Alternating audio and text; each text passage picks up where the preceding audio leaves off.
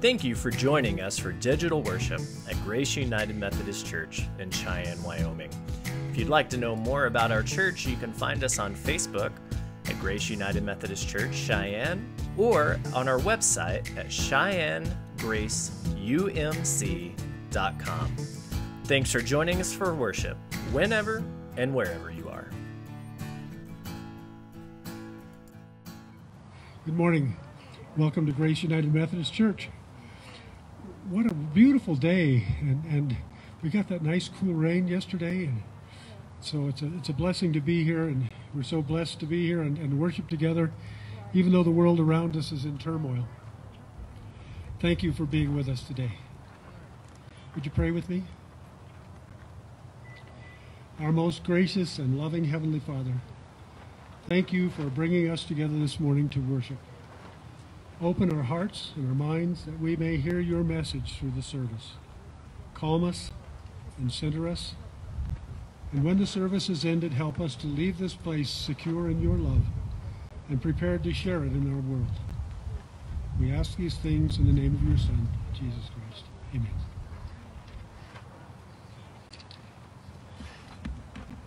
I don't think I've ever done reflection connection before. And now I know why. It was kind of difficult to put together, but the theme of our worship service this morning is fear. And so, where's a good place to start? I, I went to the dictionary. Merriam Webster says, an unpleasant, often strong emotion caused by anticipation or awareness of danger. And here are some synonyms dread, panic, terror, trepidation. I thought real hard to try to remember if I had ever had a time in my life when I was in fear of my life or just thought I was really going to be hurt somehow. I, I couldn't come up with anything. I guess I've led a sheltered life. But the thing that immediately comes to mind when you think about fear is our pandemic. I think we all fear that a family member, a friend, or ourselves will contract the virus. How does our faith affect this fear? A part of me wants to believe that my faith will protect me. But we all know that bad things happen to the most faithful people. So how can our faith help us? I really thought hard on this. And, and I wonder, what do I believe that God will do for me? Will He intervene if I pray hard enough? We all have had cases where we felt our fervent prayers were answered. And then I was reminded of that old Garth Brooks song from a few years ago. Some of God's greatest gifts are unanswered prayers. Sometimes what we pray for isn't the best thing for us. Will God protect me? Do I even have the right to ask that of Him? Why should He protect me when so many others have suffered death or the loss of a loved one? So here's what I came up with. My faith gives me comfort when I face fearful things. My faith gives me strength to remain calm when I'm afraid. My faith doesn't protect me, but it arms me with confidence. With that comfort, that strength, and that confidence, I can meet anything life throws at me. Amen?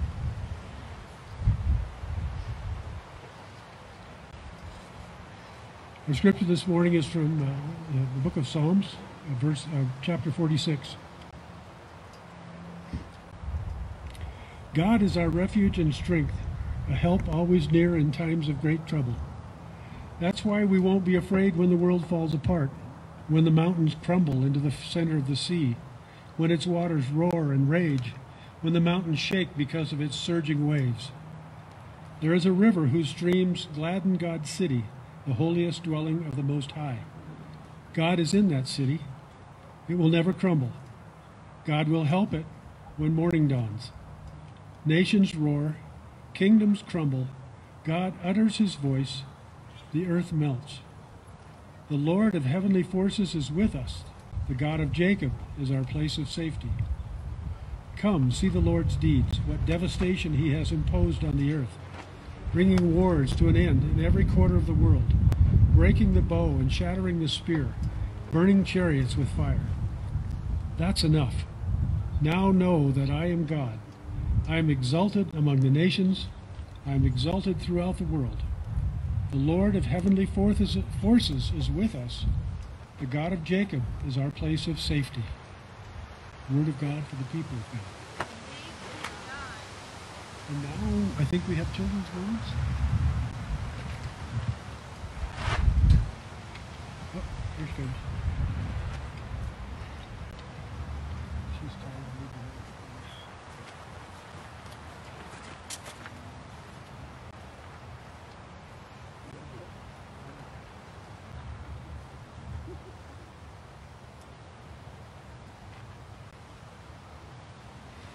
Oh yay, somebody taller than me. That's awesome. Hello everybody, hanging out in the shade. Thank you for being here today. Um, I have really good news that I'm not going to tell you. How many of you have really good news? Nice, couple. Yay, wonderful. What happens if you didn't tell anybody about your good news? You're just like, "Ee." It's so hard to keep a secret, especially in my house because we like to talk.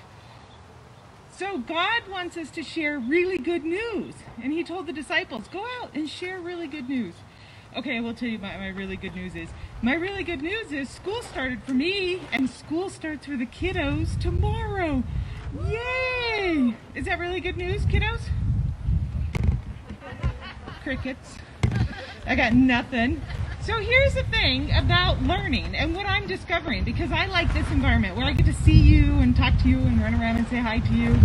But some of us have to teach online. I have to teach online and guess what? I still get to see them and I still get to talk to my students, which is awesome. That's my really good news. Is I still get to be a part of having a conversation with them. Here's the thing about school. Is it is learning just limited to school?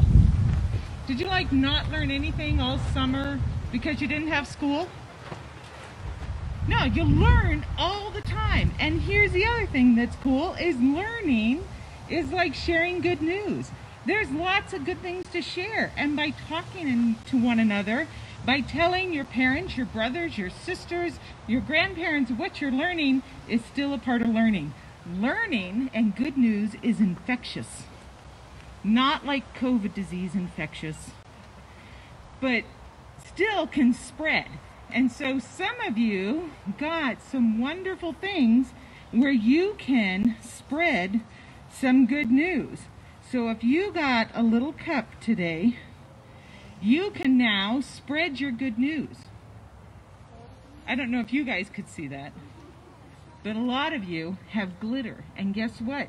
This glitter is going to stay with me all day because glitter is also infectious. And so I want you to think about how learning and glitter and spreading good news is a good thing, and we can all talk and learn together. Let us pray. Dear Lord, you are infectious. Dear Lord, help us to share our good news, our joys, and our learning, and all the things that we are doing. Even in a new, weird world, you are still with us. Help us, like glitter, to be spread everywhere and spread your joy and good news. Amen.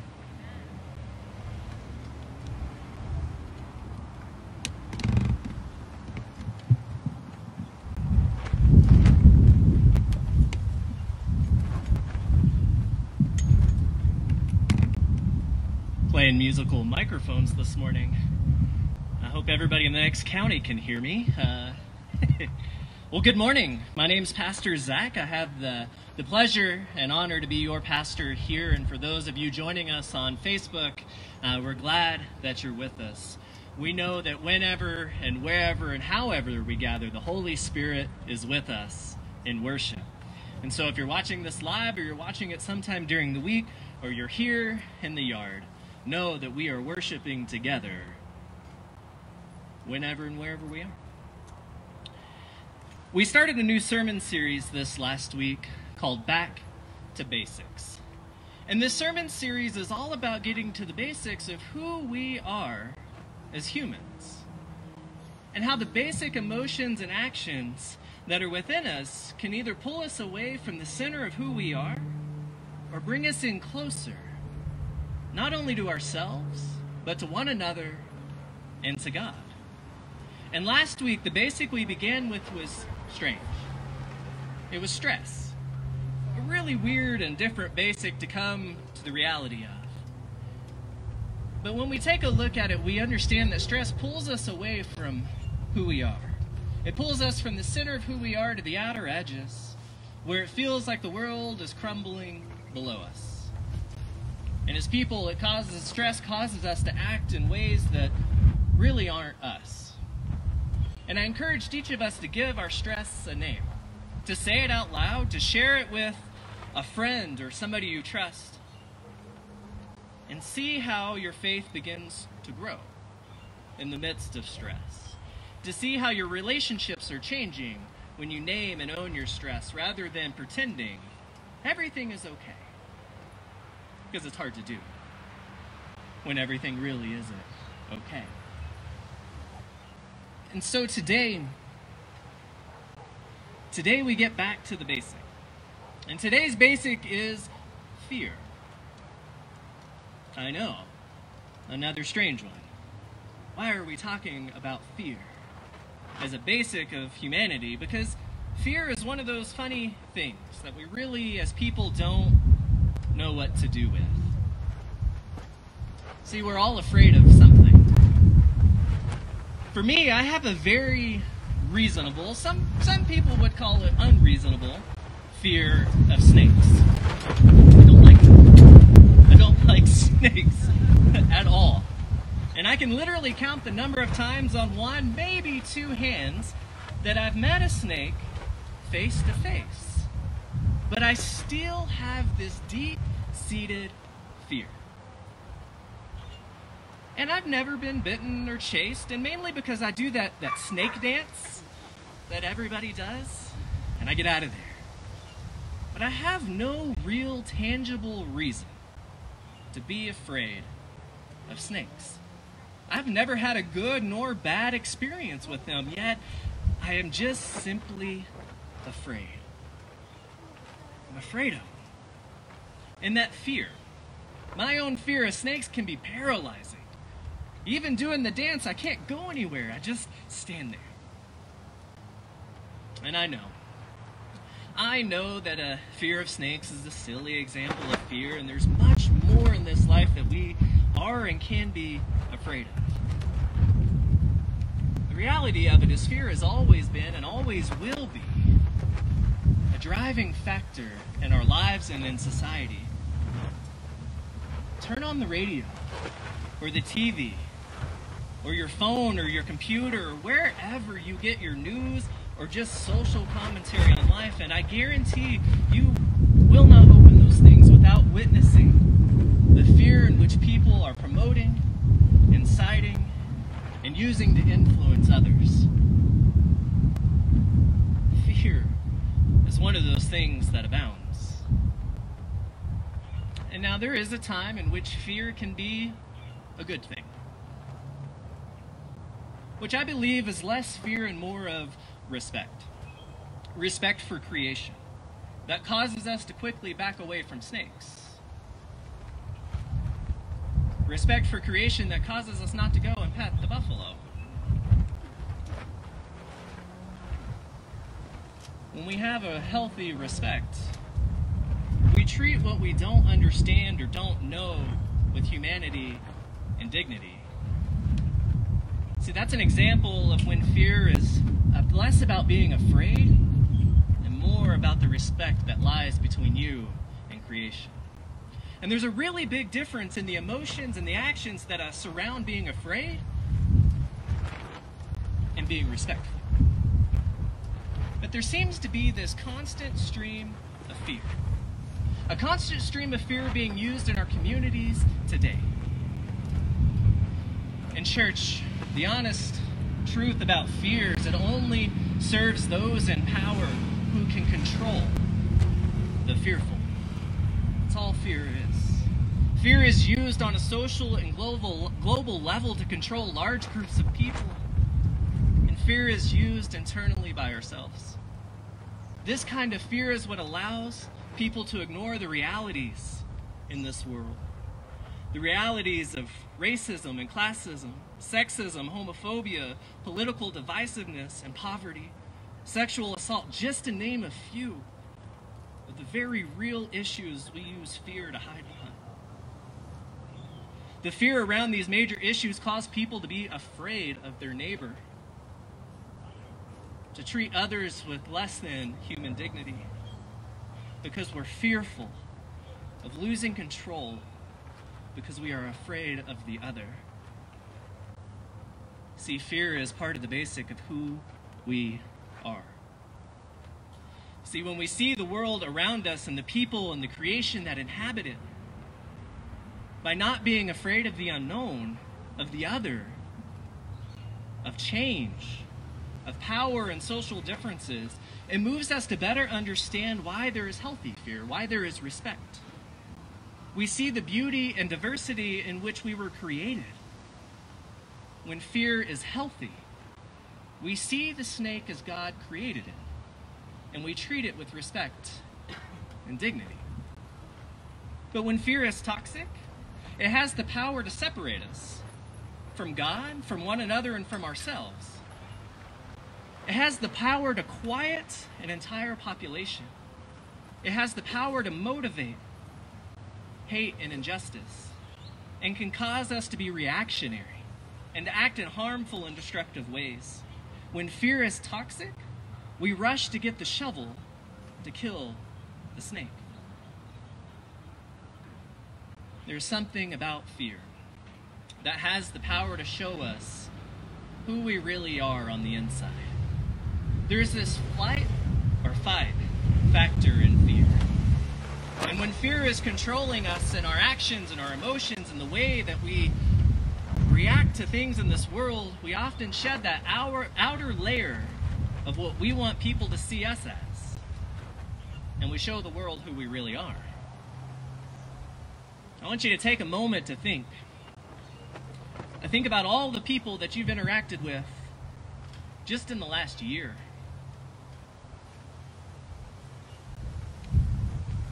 Think about those who, in a moment of being afraid or being stressed, have done something, have said something that you thought, oh, that can't be really who that person is.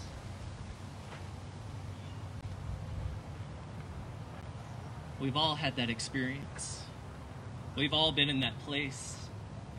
And like stress, fear is a very human experience and one that we are all trying to understand and are in good company since the beginning of time. And with that in mind, we dig into the psalm. Psalm 46 to help us better understand fear and how God is present with us when we are afraid. Hear again this song, this psalm. God is our refuge and strength, a help always near in times of great trouble. That's why we won't be afraid when the world falls apart, when the mountains crumble into the center of the sea, when the waters roar and rage when the mountains shake because of its surging waves. There is a river whose streams gladdens God's city, the holiest dwelling of the Most High. God is in that city, and it will never crumble. God will help it when morning dawns. See, church, fear makes us feel like the world is falling apart. Whether it's our own world or the world in which we have the privilege to live and hide in, or the entire world around us, it's fear. It's being afraid that causes the world to crumble. And yet, this psalm reminds us that in fear, when we are afraid, God is with us. But how often do we forget that? How often do we go to the survival mode and cling to all that is familiar, good, bad, right, or wrong, and let fear cause us to cling to what is easy, so that we can simply survive. And yet, this psalmist writes this song as a reminder that when the world crumbles, God is with us. And the psalmist writes as a reminder that human kings, if you go down into verse 8, it's human kings and leaders that use fear. And fear causes that world to crumble and divide us. But it's not God. God does not use fear as a way to do anything. God doesn't use war. God doesn't use fear. God calls us to end those things, to end war, to end fear. In this psalm, God says that's enough. In church, that resonates in my soul today. Those words, that's enough. That's enough. As we see news reports of another person of color being shot, that's enough. As people justify acts of violence and hate, that's enough. As silence a non action, that's enough. As fear spews from the mouths of politicians, that's enough. As we ignore our neighbor, that's enough. As children go to bed hungry, that's enough. As people sleep out in the cold, that's enough of abuse. That's enough as we fearfully look upon this world and recluse into the safety of apathy. That is enough, church. That is enough. There is no place for fear in our hearts, in our actions, in our sanctuaries, in our rhetoric, in our communities, in our home, in our faith. Church, that is enough for this world to change, enough is enough. And we have to stop buying into fear. The fear the powerful want us to buy to keep us afraid and silent. That is enough. Church, to get back to the basic of fear is to speak up and to speak out. To not let fear control you, to not be afraid to not let fear be a barrier of change and a wall between your relationships with your neighbor, with your family, with a stranger. A force that stands to seek oppress, uh, fear is a force that stands to seek oppression and justice and love. In church, we are not about that. We are about going into this world to seek, to end oppression, to seek justice and to bring love and hope to the world. And the basic of fear is to remember that God is with us when we are afraid. God is with us when we feel like the world is crumbling. God is with us with hope and grace, not fear and hate. This is why. This is why we have hope.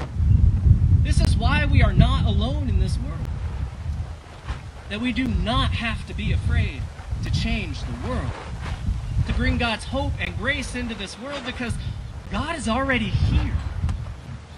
God is already at work.